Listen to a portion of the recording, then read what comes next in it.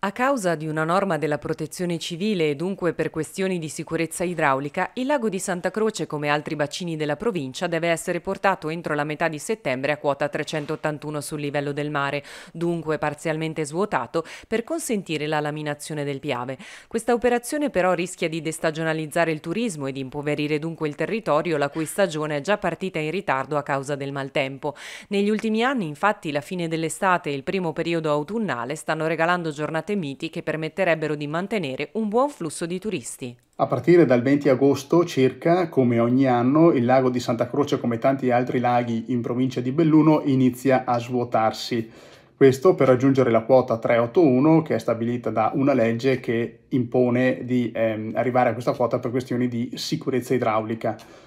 Allora ho chiesto ad Enel di poter ritardare quanto più possibile questo svuotamento del lago eh, perché la stagione turistica, eh, che è già partita male nell'anno 2024, potrebbe invece adesso allungarsi un po' di più e quindi consentire anche ai nostri operatori turistici di lavorare eh, uno o due fine settimana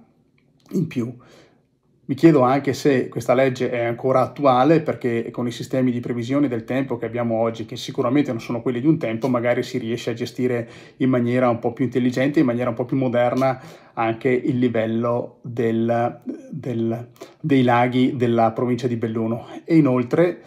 mi chiedo anche se eh, coloro che utilizzano la nostra acqua a valle, l'acqua del lago di Santa Croce e l'acqua degli altri laghi, la utilizzino in maniera intelligente e sostenibile. Siamo nel 2024 e se la risorsa idrica è una risorsa di tutti,